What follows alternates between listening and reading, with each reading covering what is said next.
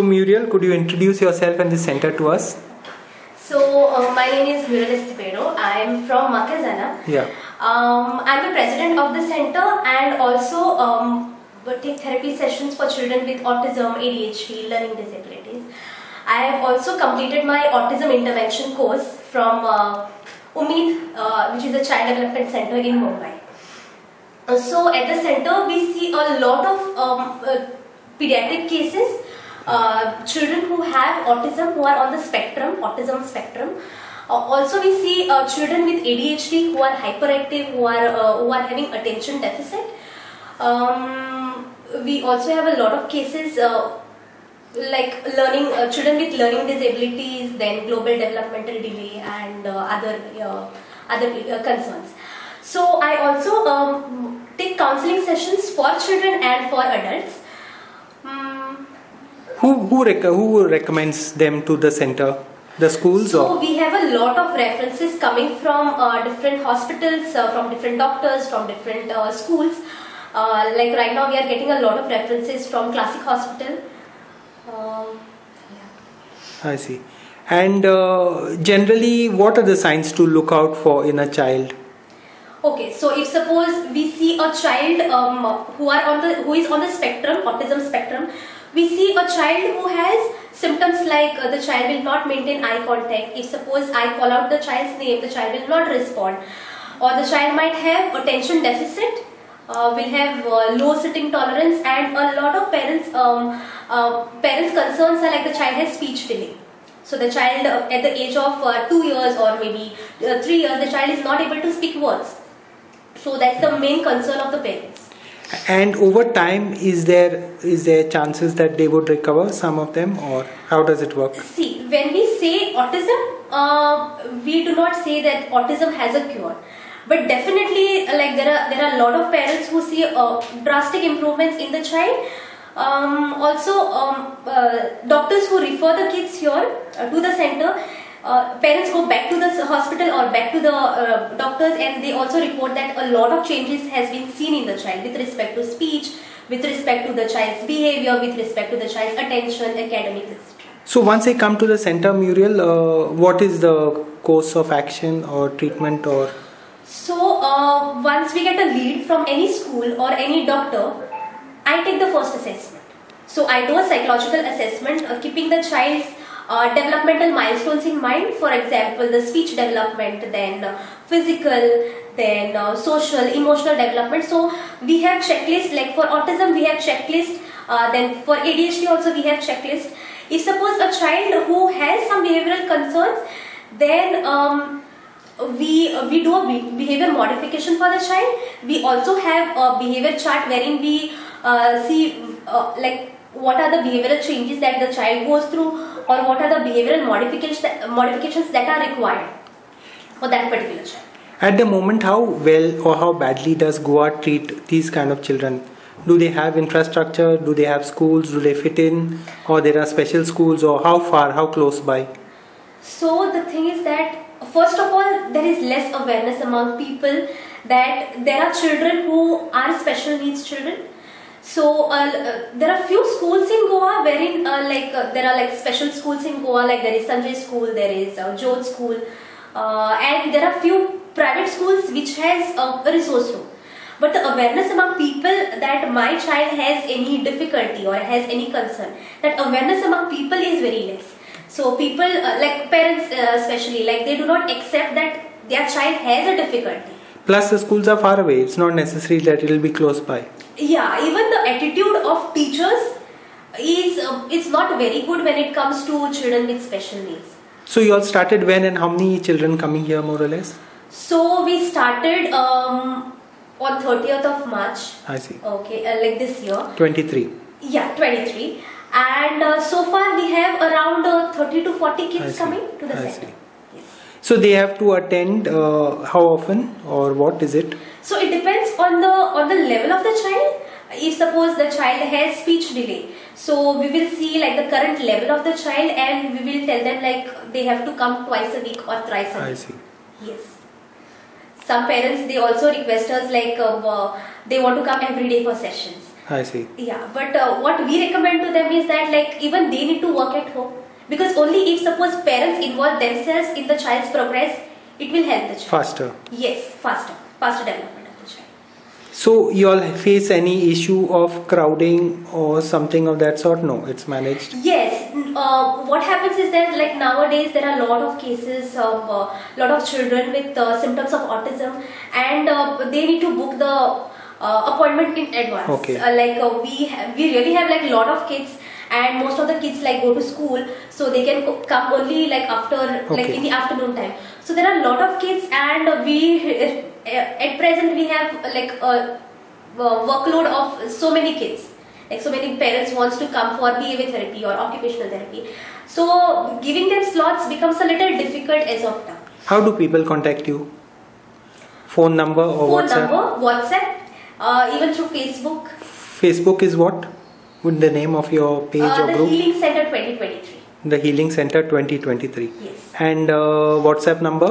uh, 9309 3131 31 also we have another number uh, 7558 2131 Double four. double four yes Thanks. Thanks so much. So, Utkarsha, tell us about yourself, your background and the work. So my name is Utkarsha Gavkar and I am from Savardem. Yeah. So I've completed my bachelor's in occupational therapy from Goa Medical College, followed by internship, bond and now I'm working here. Okay.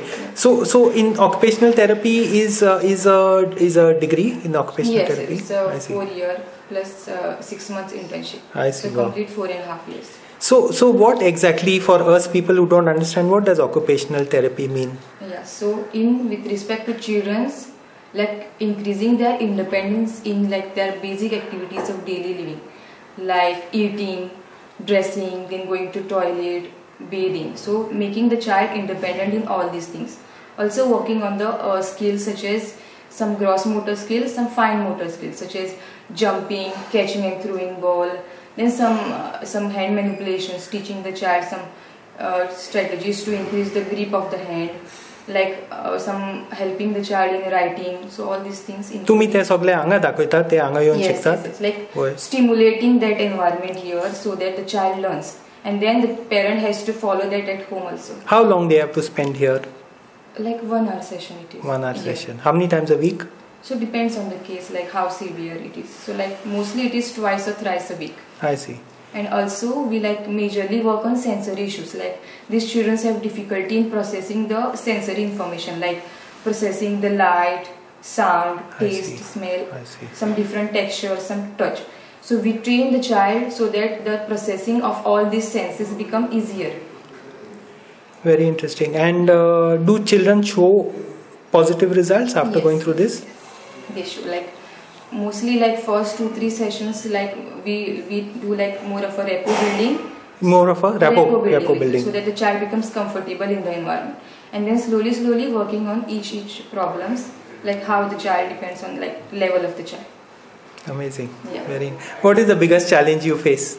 Biggest difficulty or what? There is no like biggest challenge as such Okay. every child is different Okay. so ways of handling every child is different so we have to just look up, look after that like how i'm going to approach to this child I i'm going to treat, treat this child so that's the challenge so there is no big big challenge as such Interesting. Very nice. Yeah. You enjoy your work? yes All the best. Yeah, thank you.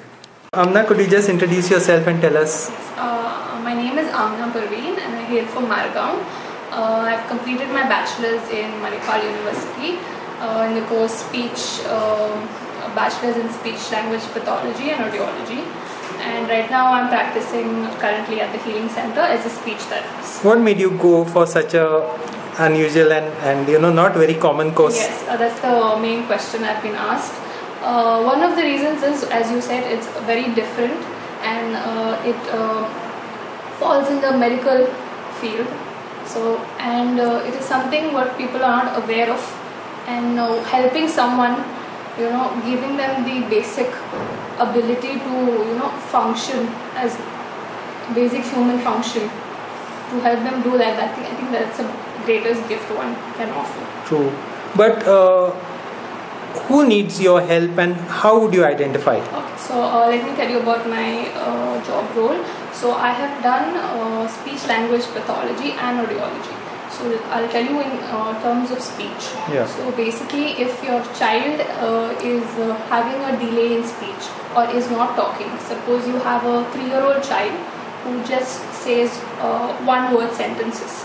So that is when you have to be uh, aware or concerned that your child has a speech delay because by three years of age, your child should at least talk in uh, three to five word sentences. And if your child is just speaking one word sentences, that is when you know you have to come to a speech therapist. But the awareness among parents is not there. They would first go to a pediatrician and then the pediatrician would recommend you to a speech therapist. So that is where we have to create the awareness that you need to be aware that your child is having certain difficulties and who do you need to approach How does it work? Everyone with autism would necessarily have a speech impediment or No. vice versa? No.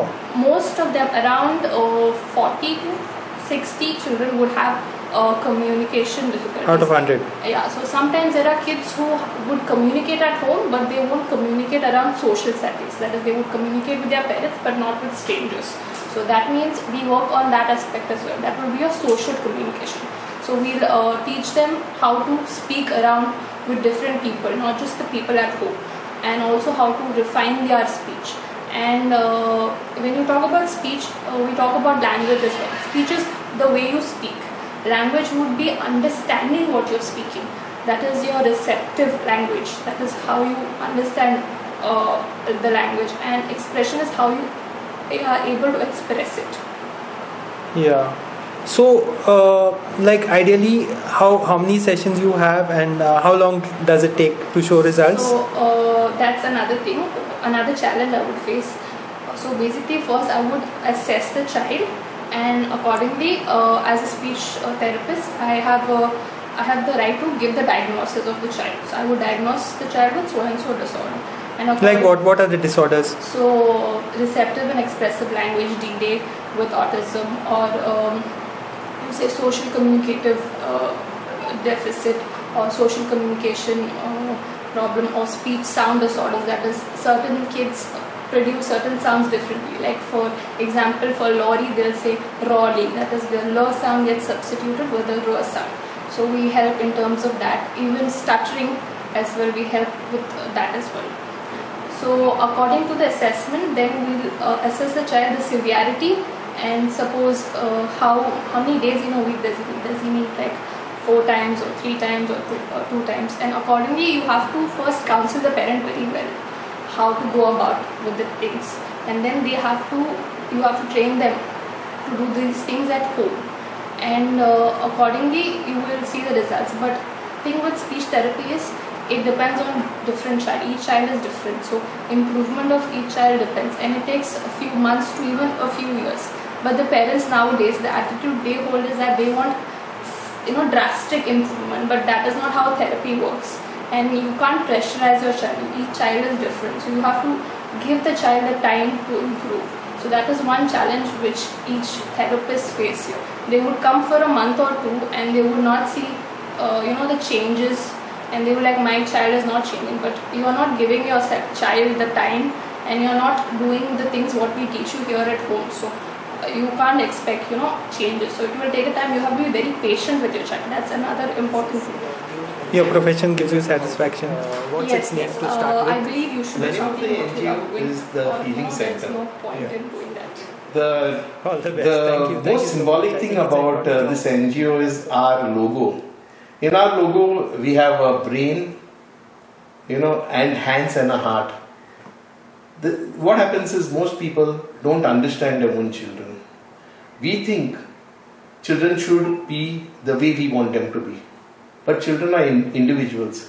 We cannot control their moods. We cannot control their thoughts. They will grow up seeing the environment around them, and what they see in the environment, they will absorb. The first three years are very critical for the child's development because no one understands that uh, you know we as parents are their first teachers. What we do, they see, they absorb in their brains, and they follow us exactly. After that, to change a child becomes difficult because the psychological nature of the child is developed basically in the first three years. So you started in March uh, 23. Yeah, I started. Uh, we started. Uh, I started late because starting an NGO in Goa is not very easy. Lot of paperwork. Paperwork is not too much, but it's extensive in the sense you have to run around getting things done, and you know how it is. Run around. Uh, yeah. So go today to the office, go tomorrow to that office, and get this license, that license, and of course financing is the most difficult Yeah. part of the NGO. Yeah. See, this NGO, I'm, I'm not a doctor. I'm Yeah. no one from the medical background. I'm basically from shipping background from the age of 19. And from that time till now, I'm sailing. So to start this was difficult because I had to know. See, I can talk to you about this today uh, read extensively about this Okay. topic and I can talk about anything. It has been in your mind since which year? It has been in my mind since uh, I realized when the thing is when I came to Goa, I came to Goa in 2004, and my kid was born, and it took me four or five years to diagnose that he had uh, autism. And uh, I was always feeling the centers are very less because that time it, there was only Sethu's. In Okay. Porvorim, all the way Yeah, in Port North Goa. yeah. That time it was in Alto when it started. So I used to go there, and to go there was not feasible because I'm sailing. My wife cannot Correct. drive him all the way there. So I thought if one day I have some money, I'll start an NGO. Well, because if you take care of your child, if you do the proper therapies when they are young, I see. you can change their thought procedure. I see. You know, as you grow older, your thought procedure it's very difficult. See, at my age, if you tell me to change something, it's going to be very difficult. I'll have to make a conscious effort. You know, but for a child, it's like a, a, you know a creeper. You can bend a creeper whichever way you want when it's growing in the initial stages. Once its had its roots firm in the ground, it's difficult to change. Then you have to break something, so which is damaging. So basically, it was that thought that put me like uh, there were no therapists, nothing. I wanted to have everything under one roof because my child suffered. I don't want the rest of the children to suffer. So this is How many children would there be in Goa roughly going by percentages or whatever? by percentage, I think the last news uh, report said three four hundred cases they are finding a month in Goa. Really? Yeah, in North and South Goa in uh, the district hospitals. So that is quite a large amount, but I think it should be at least hundred a month they are finding. See, autism is some nothing new. Autism has always been. It was not diagnosed and no one took it seriously. No one took it seriously. Even uh, most of the people thinking you know, that their children cannot study and they will hammer them. That's not the way. Because there is some issue. What is the issue? We have to find out what the issue is. If we know what the issue is, we can help the child study. But beating the child or punishing the child is not the right way. And I don't think beating has got anyone to do perform better in life. You know, our parents used to do that, but that is old age tradition, which is absolutely wrong. So the learning center is offering what kind of The uh, healing center. Here Healing the, center. The healing center, we have everything. You name it. We have uh, psychometric testing. We have OT. We have OT? PT, occupational therapy. We have Okay. speech therapy. We have behavior therapy. We have a psychologist. We have a doctor, a pediatrician also coming. And uh, we have, uh, you name it, we have it. There's nothing what we don't Cover. I see. We have it at the back of our card, which I'll show you. I So there's nothing what we don't cover. We can cover everything. What were the biggest challenges of being a new NGO? The biggest challenges of being a new NGO is that funding.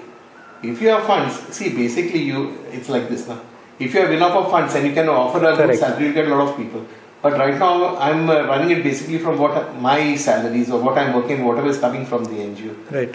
So that is the biggest challenge. Plus, I cannot get support from anyone CSR. because of the CSR. The government has said for the first three years we cannot do anything about that. So new organizations will not get CSR funding No, for the first three years So that's till they establish their credibility. Yes, because I believe there's a lot of money laundering out there. Also, there are some which are set up with the intention of uh, siphoning off money.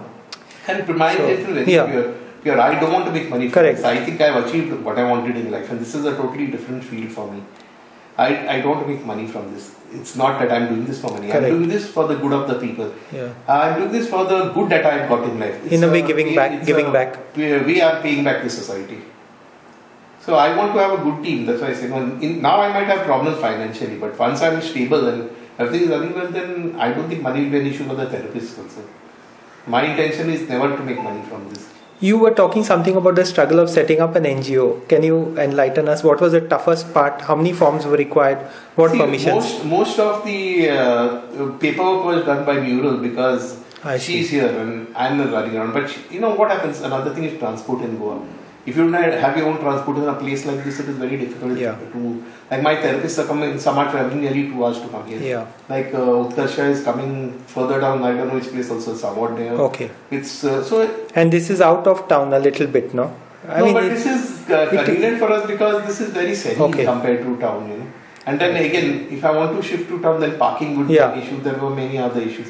And there are few people who Correct. are in town. fair enough. So, and I think basically it's the where the places doesn't matter.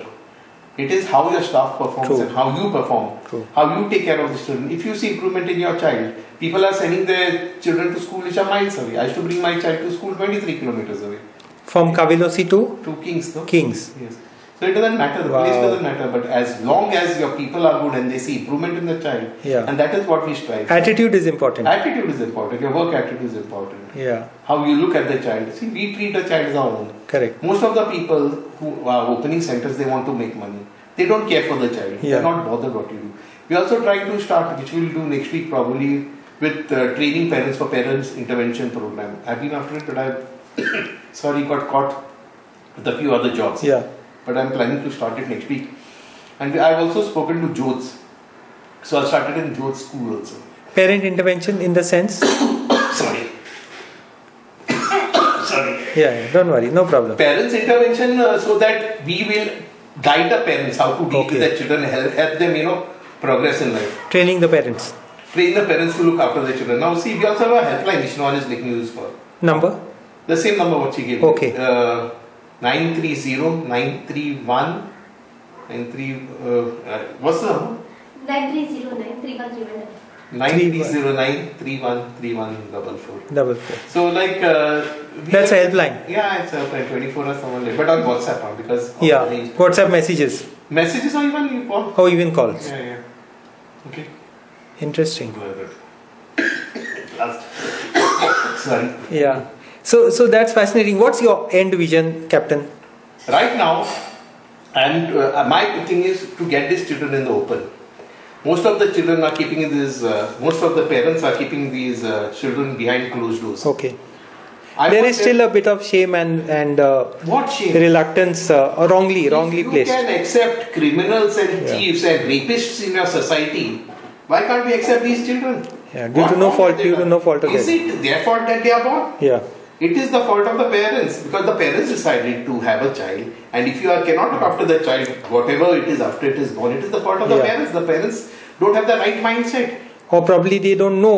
Society doesn't have enough knowledge at the moment. Society doesn't. so most of, most of the people, they don't have knowledge. They just want half-cooked stories and on these Yeah. WhatsApp uh, mes- messages, which is junk. Yeah. You see, uh, when uh, when we have a child at home, a normal child, you take interest in him. Yeah. Now, when you have a special child, you must, you must at least take the same interest, not neglect the child, lock him behind closed doors, beat him for no reason, keep him in the dark. My thing is, I'm planning to get now uh, teenagers who are capable of doing some job, see what you know work they can do, Yeah. train them, keep them in the center, see how they are performing, and then put them for part-time jobs. And for this, I've already spoken to some people in on the coastal I belt see. because people know me in the coastal belt. Yeah. Autistic children actually can be highly talented in some ways while they Yes, yes, they are very like top programmers and things like that. Like you know, as they have a They touch of all, autism. all of them are uh, having streaks of autism. I see. But the problem is when you accept your child and you train your child, then your child will move ahead. No? Yeah. When you start neglecting the child, thinking there is something wrong with the child, then what happens? And we as parents, we have a problem. We overprotect our children. So when we overprotect, what happens? You know, when you have a child and he grows up, you say, "Are to you could he's getting afraid." Yeah. But when he's young and he tries to climb up, who puts the fear in him? You say, "Are patalo." So it's not our We are putting the fear with him in him, and then when he grows up, we are telling him you are uh, uh. That's not right. Now we should encourage our children, guide them. We must be friends to our children. You know. And last question, your website is My website is www.thehealingcenter.com. dot com. Dot in, sorry. Dot in, dot in. Thehealingcenter.in. Fine. Very nice. All the best. Thank you. Thanks, for thanks. Uh, about slow learners. Slow learners are children who cannot cope up with because of the brain. It is not that you know all child have a different uh, brain uh, growth, Yeah. different functions of the brain. Some of them, Yeah. some of their, uh, some of the children, their brains cannot function to the peak, and they have uh, basically uh, problems with reading, writing, with things like dyslexia, where the uh, where the alphabets they are confused with the alphabets. So when they are basically confused with the alphabets, when they go grow and progress, they find it difficult to even study in class. So But it's all relevant because see the top at the class and the bottom of the class will have a huge gap. So how exactly do you know someone is a slow learner? see, a guy who's a slow learner will have difficulty in studying any basic thing. Like some children. All subjects? No, it is very selective. Like, see, if somebody has dyslexia, he'll have problems with maybe uh, words. Okay. But he might not have with numbers. Okay. Because they'll find it very confusing between the uh, alphabet like B and D or P, something similar. So if he cannot understand, his brain is seeing something else. Like it's like uh, when you are colorblind, you know. Yeah. You cannot see the color, and he doesn't understand. He cannot see the color. It's the same way he doesn't understand the difference. So for that, you have to have therapy. That's a big challenge, as you That's a say. big challenge. That's a big Because challenge. because I had an eyesight problem and I didn't know that my eyesight was faulty till some teacher told me. Yes, that's right. She said like you know when you compare yourself to other students you know something is wrong with you but when you're young you don't have an idea But what happens is like if there's a slow learner, we tell you okay, we'll put him for tuition, we'll put him here, we'll put him there. Yeah. But why can't we take him, you know, for a session and find out where is the problem? so what would you do once you find out Then we can work on his, on skills to help him develop I see. that department because he might be good in maths, might not be good in reading. Okay. And there are many people who have this problem and have not realized it till very late in life. So their full growth uh, of studies is hampered. and the syllabus is such that it force feed us with 10 subjects whether we want it or not you- you Which you don't use anything. Don't use algebra geometry and uh, Physics and- see for me physics and all we still use because I'm Yeah. sea, so it's different. But most of the topics taught in school are irrelevant in your practical life. I think the study structure should change. You know, like I think the government is planning to do it, where after eighth or ninth, okay, you can join whichever stream you want. they were t- yeah new education policy plus even Parrikar was talking about dropping having having low level maths in that sense because not everyone needs your you know No trigonometry and calculus No and needs all that. That is just a strain on the person, and you never use it in life later. So I think if the job, if the education is job oriented, how did you get involved in this subject in what? slow learning My brother was a slow learner, and you know, they thought Duffer, thought Shinkana, this thing, that thing, end of and uh, and then I realized, like, why? How could he be a slow learner? And two of us, you know, I'm an average student here. I'm not a genius, but my sister is, uh, is sort of always in the 95 plus. and he had certain skills other skills apart from school academic Yeah, he, he was in games. He was very good in many things. i see But uh, they, they should have focused on that aspect, not Yeah. realizing this. But basically, if they had learned earlier, they knew that there's something called a slow learner. It's the problem with the brain, nothing to do with him, Yeah. not with his attitude. yeah he, he's not naughty or he's not stubborn or something of that He sort He wants to learn, but he cannot. he cannot So we need to help him. Now, now see, when we get a cold, we try to take our local medicines. Then we go to the doctor, Yeah. and then the doctor gives some medicine to help you. yeah The same way we give some therapy to help them. So what is the therapy here Here, in special ed, they'll help them to distinguish, to write, to, you know, we'll sit down. In class, what happens? It's a full class. The teacher got no time for them. And there, what happens? She has to pay attention to 50 students in one Yeah. hour. Here it's one on one, so we can first realize where the problem is. Once you know where the problem is, we have to accept it. This is a problem. Like we as humans don't have acceptance. true We don't want to accept that our child cannot learn. true We say, no, he has to. there is a lot of stigma for illnesses of the mind or, or the senses That is that is the you know problem. physical illnesses there's no problem we will not blame you for it That's why I said, no, today a rapist is roaming freely in society. He can go around Yeah. anywhere. And yet a child who has some special issue Yeah.